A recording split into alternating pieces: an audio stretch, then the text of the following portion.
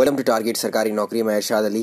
इस video lesson में हम मानव रोग, यानी ह्यूमन डिज़ीज़ को डिस्कस करेंगे। एक क्वेश्चन अक्सर यहाँ से बन जाता है आपके एग्ज़ाम में तो सभी एग्ज़ाम्स के लिए बहुत इंपॉर्टेंट है ह्यूमन डिज़ीज़ शुरुआत करते हैं इसकी।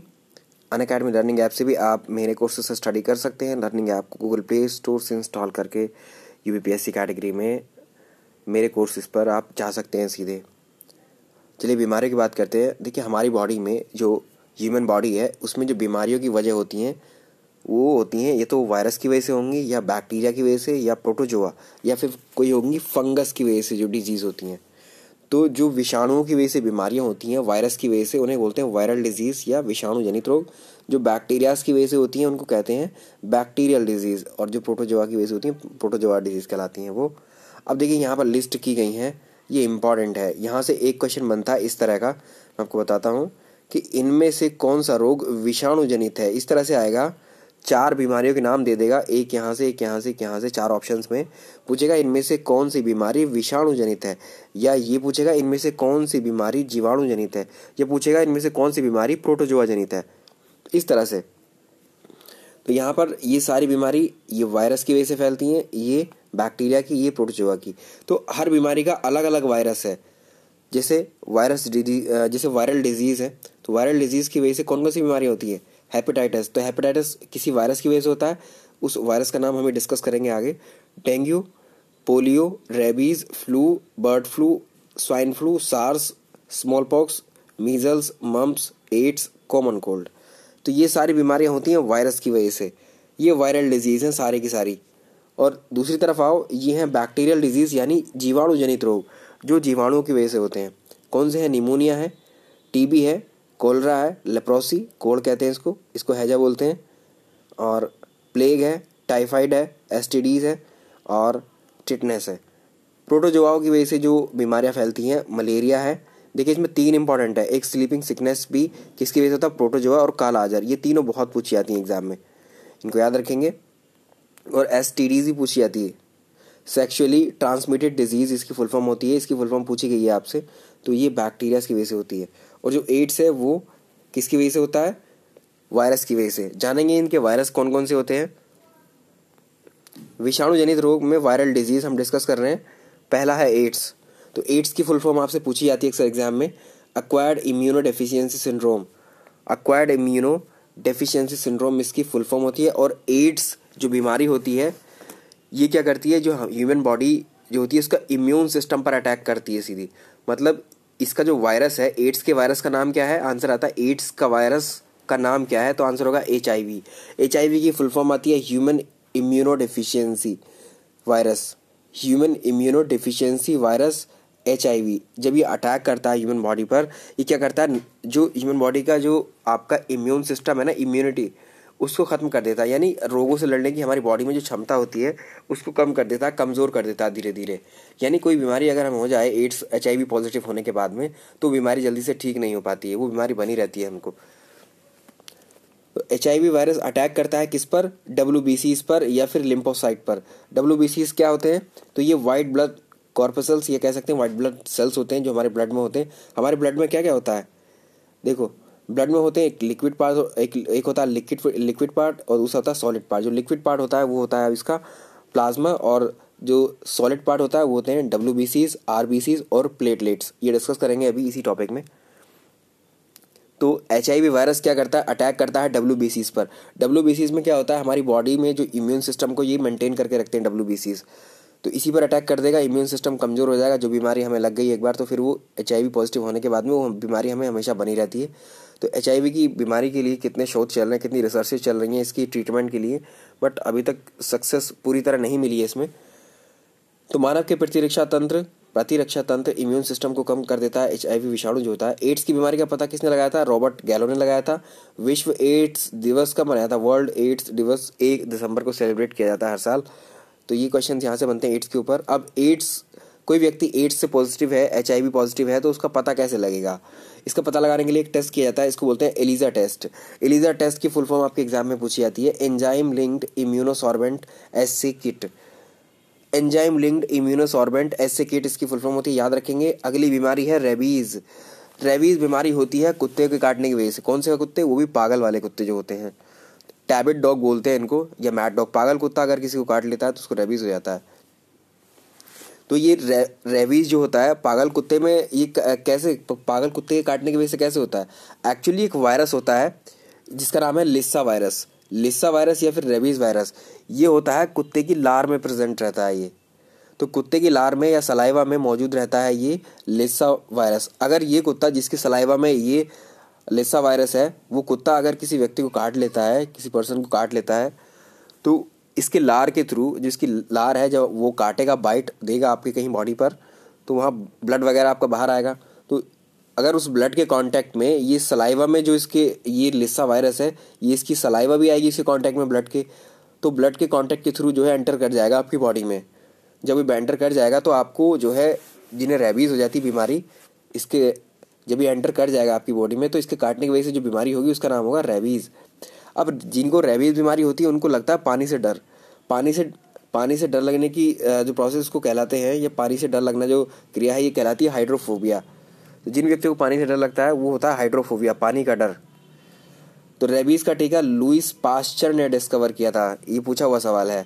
इसके इसके रेबीज के वैक्सीन या टीके का क्या नाम है? एंटी रेबीज वैक्सीन ए कहा जाता है। ये सारे सवाल पूछे हुए हैं, जितने भी डिस्कस किए हैं यहाँ पर।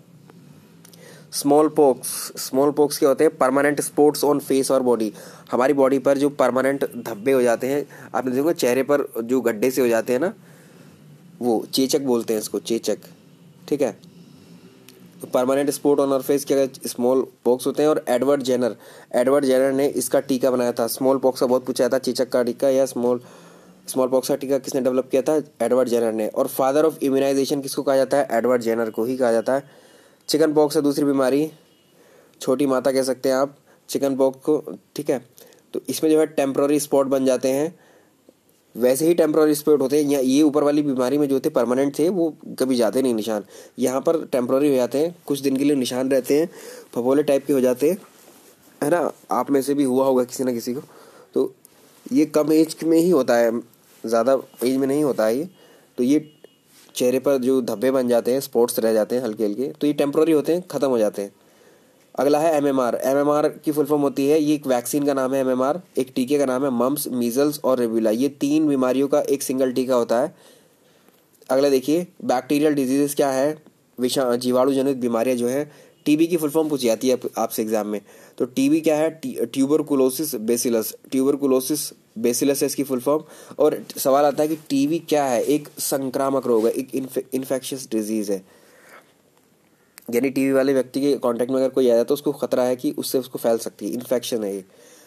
टीबी बीमारी का पता किसने लगाया था? रॉबर्ट कोच ने लगाया था। इसके बैक्टीरिया का नाम क्या है? Micro microbacterium tuberculosis microbacterium tuberculosis अगला है कॉलरा हैजा तो इसको रॉबर्ट कोच ने जो है खोजा था कोच इसको ही कहा इसको कहा जाता है क्या है?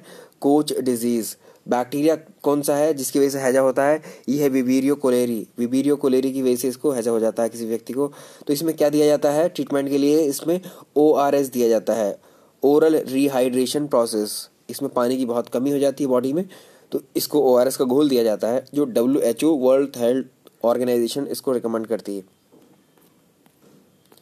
टाइफाइड टाइफाइड का दूसरा नाम है इंटेन इंटेस्टिनल इंटेस्टिनल फीवर, इसको कहा जाता है। इसका बैक्टीरिया है salmonella typhi salmonella typhi typhoid होने का जो बैक्टीरिया का नाम है। तो ये क्या है? बैक्टीरियल डिज़ीज़ है।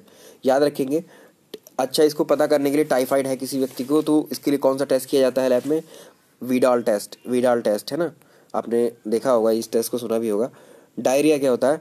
जो फ़ूड पॉइजनिंग होती है ना, दूषित खाना खाने की वजह से बीमारी हो जाती है डायरिया तो इसके बैक्टीरिया का नाम है एस्किरीशिया कोली एस्किरीशिया कोली इस बैक्टीरिया की वजह से होता है। डायरिया निमोनिया फेफड़ों में जो सूजन आ जाती है इन्फ्लामेशन ऑफ़ द लंग्स ठीक है? तो इस तरह से जो है आप याद कर सकते हैं। इनके जो बैक्टीरियाज या वायरस जो रिस्पॉन्सिबल हैं, किसी भी बीमारी के लिए एग्ज़ाम में पूछे जाते हैं। और इस इसका पीडीएफ मिल जाएगा आपको। डिस्क्रिप्शन में लिंक है इसका। वहाँ से डाउनलोड कर लीजिए आपको। ये टेलीग्राम से आप ले सकते हैं। लेप्रोसी लेप्रोसी को कहा जाता है कोड़ या सुनपन या फिर कुष्ठ रोग। तो ये भी आप देखा होगा पहले, बहुत होता था ये भी लोगों को। तो इसको खोजा था किसने? हैंसेन ने। और इसके बैक्टीरिया का नाम है माइक्रोबैक्टीरियम लैप्री माइक्रोबैक्टीरियम लैप्री जो हमारे एग्ज़ाम के लिए है पॉइंट सही है, वही यहाँ लिखे और जो पूछे हुए हैं सभी बार बार अच्छा सुनपन गोड़पन में क्या होता है? हमारी बॉडी क्या करती है इसमें जो हमारी बॉडी के पार्ट जैसे हैंड है, आपके उंगलियाँ हैं, उंगलियाँ काम करना वर्क कर देंगी आपके पैर। मतलब आपको इनमें अगर कुछ सुई भी चुभोगे तो आपको पता नहीं लगेगा उसमें, इस लेप्रोसी बीमारी के दौरान। तो इसका मतलब क्या है? इसका जो बैक्टीरिया है, ये क्या करता है, जो हमारा नर्वस सिस्टम है ना नर्वस सिस्टम पर अटैक करता है, उसको ख़त्म कर देता है। मतलब जो हमारी बॉडी को कमांड देती है ना नर्वस सिस्टम उसी को डैमेज कर देता है ये। तो कमांड जब तक नर्वस सिस्टम नहीं जाती बॉडी में, हमारी बॉडी कोई मूवमेंट नहीं कर पाती चलना, फिरना, उठना, खाना, किसी चीज़ को उठाना तो ये सारे बॉडी मूवमेंट है नर्वस सिस्टम कंट्रोल करता है। जब तक हमारा माइंड को कमांड नहीं देता है तो कुछ भी आप हम नहीं कर पाएँगे। आप इस चीज़ को देख लेना कभी। प्लेग है। प्लेग है, ये इसको प्लेग को कहा जाता है न्यूमेटिक प्लेग और मोस्ट कॉमनली अफेक्टेड जो वो है, इसके एक ऑर्गन है बॉडी का, वो होता है, फेफड़े ज़्यादा प्रभावित होते हैं प्लेग में और इसको कहते हैं black death disease black death disease किसको कहते हैं? प्लेग को। इसका बैक्टीरिया है यर्सेनिया पेस्टिस यर्सेनिया पेस्टिस है और ये किस वजह से फैलता है? पिस्सू की वजह से। पिस्सू कहाँ होते हैं? जो रैट्स होते हैं ना, चूहे। चूहों पर पाए जाते हैं पिस्सू पिस्सू की वजह से फैलते हैं ये। ट्रिपल वैक्सीन देखिए डीपीटी का फुल डीपीटी का फुल फॉर्म पूछा जाता है एग्ज़ाम में डीपीटी की फुल फॉर्म क्या है? दूसरा डीपीटी का दूसरा नाम क्या है? इसका नाम है ट्रिपल वैक्सीन या फिर ऐसे आएगा कि ट्रिपल वैक्सीन का दूसरा नाम क्या है? डीपीटी डीपीटी क्या है? ये एक वैक्सीन है, एक टीका है. फुल फॉर्म क्या है? कौन कौन सी बीमारी है? तीन बीमारियों का टीका है, एक गलघोटू, काली खांसी और टेटनेस इन तीनों बीमारियों का इनके इंग्लिश नेम आप याद कर लेंगे, क्योंकि डीपीटी की जो शॉर्ट फॉर्म बनाई है, वो अंग्रेज़ी शब्द से बनाई है इनकी. तो डीपी डीपीटी का टीका इन तीनों बीमारियों से जो है बचाता है, इसलिए इसको लगाया जाता है. अच्छा प्रोटोजोआ जनित रोग में मलेरिया तो मलेरिया क्या है? ये फीमेल एनाफिलीज मॉस्किटो होती है, जो मादा एनाफिलीज है, इसके काटने की वजह से होता है, ठीक है? इसको किसने खोजा था? रोनाल्ड रोस ने। तो ये क्या है? एक प्रोटोजोआ जनित है। सवाल पूछा था, सबसे ज़्यादा मलेरिया को मलेरिया किसके द्वारा फैला मलेरिया किसके द्वारा फैलता है? ये प्रोटोजोआ के द्वारा फैलता है। अभी डिस्कस किया था। अब देखिए कुछ क्वेश्चंस आते हैं इस तरह की। शरीर में लोहे की कमी की वजह से कौन सी बीमारी हो जाती है? हमारी बॉडी में अगर आयरन की कमी हो जाती है तो इसको बोलते हैं एनीमिया रक्त छीणता या रक्तहीनता भी कहा जाता है। पीलिया से शरीर का कौन सा अंग दुष्प्रभावित होता है? पीलिया की वजह से जॉन्डिस की वजह से कौन सा बॉडी का ऑर्गन है जो सबसे ज़्यादा प्रभावित होता है, वो है लीवर या यकृत। अगला देखिए। शरीर में जोड़ों शरीर में जोड़ों में गठिया रोग जो है, यानी आर्थिस्टिस जो है ये ये किसकी जमाव के कारण होता है? ये होता है यूरिक एसिड की डिपोजिशन की वजह से। गठिया रोग जोड़ों में हो जाता है ना, गठिया रोग। तो ये होता है यूरिक एसिड की वजह से। किसी तत्व की कमी से कौन सा तत्व ऐसा है जिसकी वजह से घेंगा गोइटर होता है? घेंगा गले में देखना, गला सूज जाता है। मतलब आपने देखा होगा कभी कभी गले में बहुत बड़ा पार्ट जो बाहर निकल आता है, वो सूजन सूजन टाइप का दिखता है गोल गोल सा। तो ये आयोडीन की कमी से हो जाता है घेंगा रोग।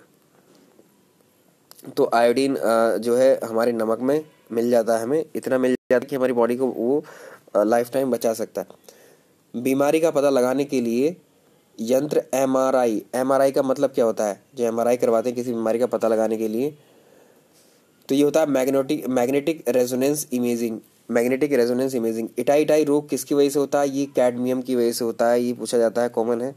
ट्यूमर की पहचान करने के लिए किस रेडियोधर्मी समस्थानिक का यूज़ किया जाता है? ये arsenic seventy four, A seventy four, tumour की पहचान के लिए इसको किया जाता है। और दूसरा ये तो हो गया किसके लिए? ट्यूमर के लिए। कोबाल्ट सिक्सटी कोबाल्ट सिक्सटी को कैंसर का पता लगाने के लिए किया जाता है। तो कोबाल्ट सिक्सटी क्या है? इसमें गामा किरणें जो है उत्सर्जित होती हैं, ये सवाल पूछा हुआ है। Gamma raise. एल्जाइमर रोग मानव शरीर का कौन सा अंग प्रभावित होता है एल्जाइमर में? तो इसका मनुष्य। तो मनुष्य की जो स्मरण शक्ति है वो कम हो जाती है। गजनी टाइप बन जाते हैं मतलब। शॉर्ट टर्म मेमोरी क्षमता कम हो जाती है मतलब याद रखने में प्रॉब्लम होती है। तो ये मस्तिष्क पर ब्रेन पर। ब्लड के बारे में जानते हैं? ब्लड क्या होता है? Blood is a liquid connected liquid connective tissue होता है। टिश्यू क्या होता है? ऊतक। ऊतक मतलब ग्रुप ऑफ़ सेल्स हमारी बॉडी आप जानते हैं ह्यूमन बॉडी जो है और ट्री प्लांट्स की बॉडी जो है, ये कैसे कैसे बनी हुई है? ये छोटे छोटे स्मॉल सेल्स से मिलकर बनी होती है, जिसे कहते हैं हिंदी में कोशिका। जब बहुत सारी कोशिका एक साथ आती है, इकट्ठी हो जाती हैं तो वो कहलाता है टिश्यू। जैसे हमारी बॉडी में स्किन है, आपकी जो खाल है, त्वचा है ना, देखें स्किन पूरी बॉडी पर है हमारी, जो हमको दिखाई देती है, वो स्किन। जो छोटे छोटे टिश्यूज़ हैं, ओ, सॉरी, छोटे, पहले तो सेल्स हैं, सेल से मिलकर बनी है स्किन भी तो स्किन में छोटे छोटे सेल्स अगर ये इकट्ठा है एक जगह है तो ये कहलाते हैं टिश्यूज़। तो बहुत सारे टिश्यू बहुत सारे सेल्स मिले हैं हमारी स्किन पर, तभी तो वो एक बड़ा टिश्यू कहलाया। और टिश्यू, बहुत सारे टिश्यूज़ हमारी बॉडी पर पूरी टिश्यूज़ हैं तो टिश्यू को मिलाकर कहेंगे क्या? पूरा ऑर्गन बन गया, यानी त्वचा एक ऑर्गन बन गया। तो group of cell is called as tissue ये क्वेश्चन पूछा हुआ है। Group of tissue is called as organ समझ गए? अब आमतौर पर जो ब्लड होता है हमारी बॉडी में, मानव शरीर में पाँच से छः लीटर होता है हमारी बॉडी में जो रक्त होता है, या खून या ब्लड कहेंगे इसको। एवरेज क्वेश्चन आता है कि एवरेज हमारी बॉडी में कितना रक्त पाया जाता है। तो साढ़े पाँच लीटर रक्त पाया जाता है हमारी बॉडी में। और रेंज ये रहती है पाँच से छः लीटर के बीच। औसतन कहेंगे तो साढ़े पाँच लीटर पाया जाता है। तो पीएच ऑफ़ ब्लड का पीएच क्या होता है? होता है सेवन पॉइंट फोर क्षारीय होता है बेसिक होता है. लिक्विड पार्ट ऑफ़ ब्लड क्या कहलाता है? ये सवाल पूछा हुआ है। लिक्विड पार्ट ऑफ़ ब्लड चलिए नेक्स्ट टॉपिक यही है. देखिए ब्लड होते हैं, तीन चीज़ें होती हैं ब्लड में. एक होता है लिक्विड पार्ट उसका, एक होता है सॉलिड पार्ट लिक्विड पार्ट में जो होता है लिक्विड पार्ट को क्या कहा जाता है? प्लाज्मा ब्लड के लिक्विड पार्ट को प्लाज्मा कहते हैं. और सॉलिड पार्ट में होते हैं क्या? ब्लड के अंदर. ये ती, ये दोनों चीज़ें ब्लड के अंदर ही हैं? याद रखना इसको. ये होती है R B Cs W B Cs और प्लेटलेट्स प्लेटलेट्स की स्पेलिंग है P L A T E L E T S इसको याद रखेंगे। तो ये क्या है? पहले डिस्कस करते हैं आर बी सीज तो आर बी सीज की फुल फॉर्म क्या होती है? या फिर आर बी सी को हम कॉमनली कहते हैं रेड ब्लड सेल इसका एक्चुअल नाम है कितना? क्या है? रेड ब्लड कॉर्पसल्स लाल रक्त कणिकाएँ होती हैं। रेड ब्लड सवाल आता है कि आरबीसीज का दूसरा नाम क्या है? या इनमें से किसे आरबीसीज कहा जाता है? इरीथोसाइट इरीथ्रोसाइट्स जो है, इसको कहा जाता है रेड ब्लड सेल्स ये पूछा हुआ है कई बार। या रेड ब्लड कॉर्पसल्स को कहा जाता है इरीथोसाइट्स आरबीसी में क्या होता है? आरबीसी के अंदर क्या पाया जाता है? हीमोग्लोबिन हीमोग्लोबिन का काम क्या होता है? हीमोग्लोबिन ट्रांसपोर्ट करता है oxygen and carbon dioxide body के डिफरेंट पार्ट्स में। याद रखेंगे क्वेश्चन पूछे हुए हैं। ये जितनी भी पॉइंट यहाँ लिए हैं, सब क्वेश्चन आए हुए हैं। तो नॉर्मल आरबीसी जो होती है number of RBC healthy person में कितनी होती है? अड़तालीस फोर्टी एट लैख से फिफ्टी लैख के बीच में। सॉरी आरबीसीज बनते कहाँ पर हैं एक्चुअली ये जो होते हैं। आरबीसीज जो राइट रेड ब्लड कॉर्पसल्स बनते हैं तो हड्डियों के बीच में जो लिक्विड भरा रहता है ना, हड्डियों के बीच में जो लिक्विड होता है, आपने बोन देखी होंगी, जिसे, उसे बोन मैरो कहते हैं, उस लिक्विड को। यहीं पर जो है, इसका निर्माण होता है आरबीसी का। तो आरबीसी का जीवन काल कितना होता है? जो सेल्स है ये वाले, ये कितने दिन में डैमेज या नष्ट या खत्म हो जाते हैं? तो ये 120 दिन, ये सवाल बहुत पूछा जाता है। आरबीसी का जीवन काल कितना होता है? लाइफ स्पैन ऑफ़ आरबीसी 120 दिन। आरबीसी की जो डेड होती है, ये ये सेल्स कहाँ डैमेज होती हैं? कहाँ डेड होती हैं? ये स्प्लीन के अंदर, तिल्ली जिसे आप कहते हैं स्प्लीन तो spleen is called as blood bank किसको कहा जाता है बॉडी में? हमारे शरीर में ब्लड बैंक किसको कहा जाता है? स्प्लीन को। या फिर स्लॉटर हाउस किसको कहा जाता है हमारी बॉडी में? स्प्लीन को। या फिर ग्रेव यार्ड यानी कब्रिस्तान कहाँ, किसे कहा जाता है? स्प्लीन को। मतलब ये सारे नाम स्प्लीन के हैं और ये क्वेश्चन सारे पूछे हुए हैं। अब देखिए, खून में, यहाँ देखिए, खून में रक्त या फिर रक्त में जो संक्रमण इन्फेक्शन हो जाता है ब्लड में, उसको पता लगाने के लिए एक टेस्ट किया जाता है ई एस आर टेस्ट इसको बोलते हैं इरीथ्रोसाइड सेडिमेंटेशन रेट इस टेस्ट को करवाया जाता है खून में इन्फेक्शन का पता लगाने के लिए। W C W B Cs white blood cells तो वाइट ब्लड सेल्स को कहते हैं डब्ल्यू बी सीज या फिर वाइट ब्लड कॉर्पसल्स या फिर ल्यूकोसाइट्स अभी हमने देखा था ल्यूकोसाइट्स एड्स का जो वायरस होता है एचआईवी वो ल्यूकोसाइट्स पर ही आ, क्या करता है अटैक डब्ल्यू बी सीज पर।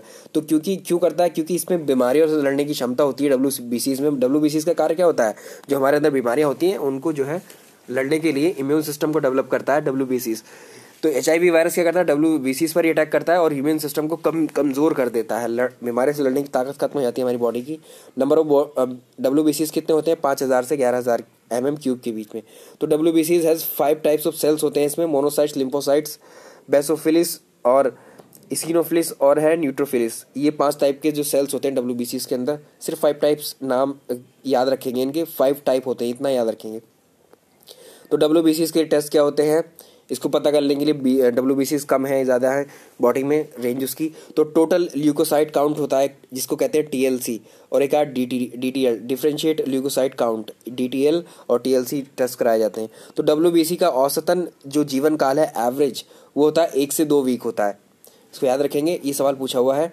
इन्फेक्शंस जैसे इन्फेक्शन होते हैं निमोनिया निमोनिया होता है या टीबी होता है इन्फेक्शन डिज़ीज़ है। इसके दौरान क्या होता है डब्ल्यू की जो संख्या बढ़ जाती है है ना इन इन इन इन्फेक्शन के दौरान टीबी जैसे टीबी या निमोनिया के दौरान क्या होता है? डब्ल्यू की जो संख्या बढ़ जाती है और जब डब्ल्यूबीसी की संख्या अनियंत्रित हो जाती है, यानी अनकंट्रोल हो जाती है, उस समय जो है ब्लड कैंसर बनने के चांसेस पूरे पूरे बन जाते हैं। क्योंकि ये डब्ल्यू बी का ब्लड में ही तो है तो जब संख्या अनियंत्रित हो जाती है डब्ल्यू बी की बॉडी में तो ब्लड कैंसर होने का चांसेस बढ़ जाता है। हो सकता है तब तो उस कंडीशन में ट्यूमर वगैरह जो है डेवलप हो जाता है बॉडी में। ट्यूमर बन जाते हैं, आपने देखे होंगे। ब्लड कैंसर को क्या कहा जाता है? सवाल है आपके एग्ज़ाम में leukaemia is called as blood cancer या blood cancer is called as leukaemia सवाल पूछा हुआ है। नेक्स्ट प्लेटलेट्स प्लेटलेट्स क्या होती है? प्लेटलेट प्लेटलेट्स का दूसरा नाम होता है थ्रोम्बोसाइट्स ये सवाल भी पूछा हुआ है। Platelets helps in blood clotting जो हमारी बॉडी में, मान लीजिए कहीं बॉडी में कट लग गया, चाकू कहीं, या ब्लेड वगैरह से कट गया कहीं पर, ये चोट लग गई तो आपने देखा होगा ब्लड निकलने लगता है उससे। तो ब्लड शुरुआत में तो बहुत ज़्यादा निकलता है, कुछ देर बाद में ब्लड क्या होता है, वो जमने लगता है। ब्लड के जमने को, या रक्त के जमने को कहा जाता है ब्लड क्लोटिंग या रक्त का थक्का जमना, ठीक है? तो ये क्यों क्यों क्यों जमता है ब्लड ये प्लेटलेट्स के कारण जमता है। प्लेटलेट्स जमाता है, इनमें हेल्प करता है ब्लड क्लोटिंग में। Number of platelet number of platelet कितनी होती है ह्यूमन बॉडी में? वो होती है डेढ़ लाख से चार लाख के बीच एम एम क्यूब है। डेंगू हो जाने पर क्या होता है? डेंगू हो जाने पर क्या होती है? प्लेटलेट्स कम होती हैं, ठीक है? ब्लड प्रेशर पर भी क्वेश्चन बनते हैं। तो सवाल आता है, इनमें साइलेंट किलर डिज़ीज़ कौन सी है? ब्लड प्रेशर कहलाती है क्या? साइलेंट किलर डिज़ीज़ जिसको आप बीपी बीपी भी बोलते रहते हैं ना? साइलेंट किलर डिज़ीज़ किसको कहते हैं? ब्लड प्रेशर को। नॉर्मली बीपी कितना होता है? 120 एम एम एक सौ बीस पर 80 एम एम एच जी होता है। ये ये रेंज भी कई बार पूछी हुई एग्ज़ाम में। BP is measured by BP को किस चीज़ से मापते हैं? स्पिग्नो मैनोमीटर स्पिग्नो मैनोमीटर से इसको मेजर करते हैं बीपी को। लो ब्लड प्रेशर जो होता है, लो लो बीपी जो होता है, लो ब्लड प्रेशर या लो बीपी को कहा जाता है क्या? हाइपोटेंशन ये सवाल भी पूछा हुआ है। और हाई बीपी को क्या कहा जाता है? हाइपर टेंशन इंपॉर्टेंट है। चलिए, कुछ देखिए, कुछ हमारे, हमने जो क्वेश्चन डिस्कस किए थे तो वो अपडेट उसमें थोड़ा नहीं था। तो ये अपडेटेड क्वेश्चन आंसर्स हैं उनके। जैसे कि सीबीआई के जो डायरेक्टर हैं वो एम नागेश्वर राव हैं इंटरिम डायरेक्टर हैं ये। अगर वेबसाइट पे सीबीआई की चेक करोगे तो अभी भी आलोक वर्मा का ही नाम है, वहाँ सीबीआई डायरेक्टर के। तो ये इंटरिम डायरेक्टर है, इनको वेबसाइट पर अपडेट नहीं किया गया अभी भी, नागेश्वर राव को। यूजीसी के चेयरमैन है डीपी सिंह और जो ग्लोबल पीस इंडेक्स हमने डिस्कस की थी, वहाँ हमने वन थर्टी सिक्स लिखा था। तो उसका वो एक्चुअली रिवर्स लिखना था हमको one thirty six one one sixty three लिखा था हमने बट वो है जो इंडिया की रैंकिंग है अभी वर्ल्ड पीस इंडेक्स में, वो 136 है। ठीक है तो उसको करेक्ट करके यहाँ 136 आप कर लेना। फ्रांस और यूके के बीच में किसी ने पूछा था इंग्लिश चैनल और ये भी है, डोवर संधि भी है, ये चैनल में क्या डिफरेंस है? देखिए, यूके और फ्रांस के बीच में क्या है? इंग्लिश चैनल ये वाटर का पैच ये मान लीजिए, ये फ्रांस है और ये यूके है। तो यहाँ पर क्या है? ये पानी है। इस पानी के चैनल को कहेंगे दो देशों के बीच जो पानी का चैनल होता है पैसेज होता है वाटर होता है, उसको बोलते हैं हम चैनल तो ये इंग्लिश चैनल है किसके बीच? यूके के और फ्रांस के बीच में। ये कहीं पर आकर, ऐसा तो है नहीं, ये बहुत छोटा होगा। देश काफ़ी बड़े होते हैं बाउंड्री बहुत बड़ी होती है तो ये पूरा जो रीजन है, कहीं पर आकर बिल्कुल एकदम करीब आ जाते हैं। एक जगह जैसे मान लीजिए ये यूके था ये वाला हिस्सा, और ये क्या था फ्रांस था तो कहीं आकर बहुत नैरो हो जाता है ये चीज़। जहाँ ये चीज़ नैरो हो जाती है ना, दो देशों के बीच में पानी में जो डिस्टेंस है, उनकी बहुत पास होती है करीब तो उसको बोलते हैं हम स्ट्रेट संधि, ठीक है? तो यहाँ पर कौन सी स्ट्रेट आ जाती है? डोवर स्ट्रेट तो डोवर स्ट्रेट भी है, और फ्रांस और यूके के बीच में इंग्लिश चैनल भी है, याद रखेंगे। सिराज हिंद का क्वेश्चन डिस्कस किया था। सिराज हिंद एक्चुअल जौनपुर को कहा जाता है। ठीक है, इसको भी कर लेंगे करेक्ट और मैंने एक क्वेश्चन लिया था मिस यूनिवर्स का। तो कैट्रियानो एलिजा जो है ग्रे जो बनी है मिस यूनिवर्स 2018 मैंने लिखा था वहाँ ऑस्ट्रेलिया ठीक है तो ये ऑस्ट्रेलिया में उनका जन्म हुआ था। तो वहाँ मैंशन करना नहीं रहा। और जो इनका होम टाउन टाउन है, वो फिलीपींस में तो सवाल ये कहाँ की है? ये सवाल जो आएगा तो अब फिलीपींस का ही आएगा। मतलब ये कहाँ से बिलोंग करती है? फिलीपींस से। अगर बॉर्न की जन्म की बात करेगा तो वो ऑस्ट्रेलिया रहेगा। ठीक है तो मिस यूनिवर्स में उनके नाम पूछे जाते हैं ये मैंने फिर भी ले लिया था। नाम ज़्यादा इंपॉर्टेंट है क्योंकि वो करंट है अभी एक आ, हमने अभी नाम लिखा था सार्स नाम की एक बीमारी लिखी थी। तो इसको बोलते हैं severe acute sorry sorry severe acute respiratory syndrome तो इसकी फुल फॉर्म पूछी जाती है सार्स बीमारी की ये एक वायरस डिज़ीज़ है।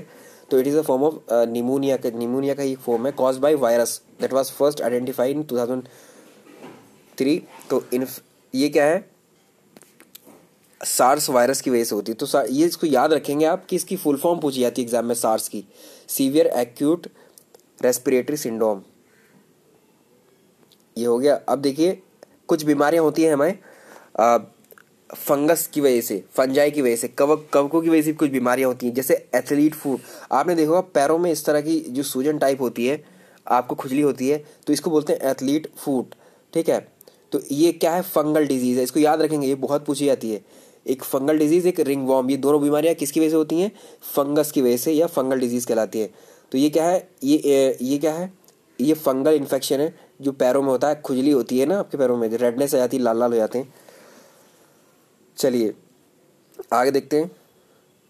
तो एक होती है रिंग वॉर्म ठीक है? रिंगवॉर्म ये भी क्या है? ये एक फंगल डिज़ीज़ है, ये भी। इसको भी याद रखेंगे आप, दोनों। तो ये दोनों एग्ज़ाम में पूछी हुई हैं। तो फंगस का नाम भी याद रख सकते हैं आप, ये रहा। चिकन पॉक्स के बारे में भी हमने देखा था। चिकन पॉक्स का जो वायरस होता है, वो ये रहा, ठीक है? वेरीसेला जोस्टर है तो ये इसके कारण क्या है, चिकन पॉक्स होने की संक्रामक बीमारी है इन्फेक्शन होता है ये भी। इसमें देखा आपने, छाले या फफोले या फिर दाने, खुजली, थकान, इस तरह का होता है। चलिए, इस वीडियो लेसन में रहने देते हैं इतने ही तो ये होगी हमारी ह्यूमन डिज़ीज़ तो काफ़ी सारी हो गई हैं। कितना सिलेबस है आपका, आपके एग्ज़ाम का, आप समझ नहीं पाएँगे कि आपको क्या क्या पढ़ा दिया जाए क्या क्या नहीं। ये बहुत मुश्किल है डिसाइड करना। तो आप जो है, एक काम करिएगा, सब कुछ जितना भी है रिवाइज कर लीजिए उसको अच्छे से। जितना भी डिस्कस हमने किया या फिर आप अपनी तरफ़ से जो भी एफर्ट आपके हैं, उनको। वीडियो पसंद आया तो लाइक कर दीजिएगा। Thank you so much